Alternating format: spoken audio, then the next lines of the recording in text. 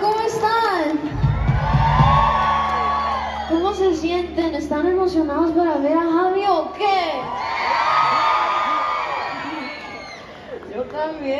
Estoy emocionada.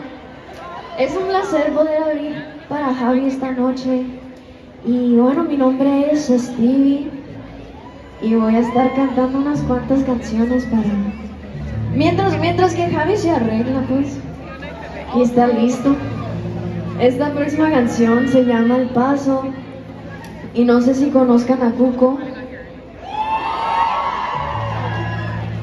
Bueno, esta canción tuve la oportunidad de escribirla con él.